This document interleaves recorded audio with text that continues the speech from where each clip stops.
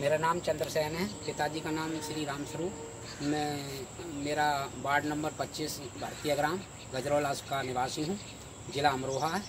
और मुझे ये सरकार बहुत पसंद है। मोदी जी ने मेरा मकान बनवा दिया। मैं पहले किराए पर रहता था, मेरे पास मकान नहीं था। इस सरकार से बहुत संतुष्ट, बहुत खुश हूँ। उनका स्वा, हार्दिक अभिनंदन, स्वागत करता हूँ।